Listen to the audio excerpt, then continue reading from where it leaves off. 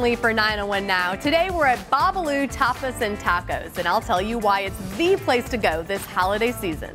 So I can't come to Babalu and not have the guacamole. So I've talked Brad, the manager here, into showing me how to make it. Secretly, I just want to eat it. But let's go ahead and find out how y'all make this. We use fresh local produce and ingredients. Is this one of the more popular things? This that- is the most popular thing. Really? So, absolutely. Every table gets it? Absolutely.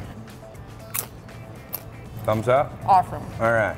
I'm gonna eat the whole thing. If you want even more action with the kitchen, you can sit right here at the chef's table. We pride ourselves in sharing. We can get people together at one big table, put a big spread of food out. And everyone just sits around, plates everywhere, and sharing their food. Absolutely. Everything in house is, is made here, handmade by our executive chef, hand pressed tortillas, the braised beef short rib, which is amazing. We also do enchilada of the day, handcrafted in the bag by our chef, and they're always amazing. They never disappoint. Everything fresh, made to order, locally sourced, and Yeah. that's why it tastes so good. For the holidays, we're doing a every $50 gift card you buy, you get a $15 bonus gift card back. So you can get a gift for your friends and then keep one for yourself, Yeah.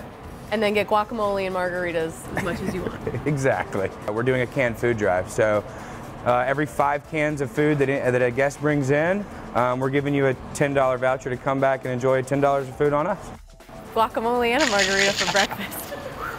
Good day. I will definitely be bringing my friends in for the social hour. You get dollar off drafts, you got $2 tacos, $4 sangrias, and $5 house wines. I mean, $2 tacos, that's basically free. That's an amazing deal. Yeah, and they're delicious. So be sure to check out Babalu at the new location on Poplar or the original in Overton Square. For 901 Now, I'm Lauren Lee. Thanks for joining us.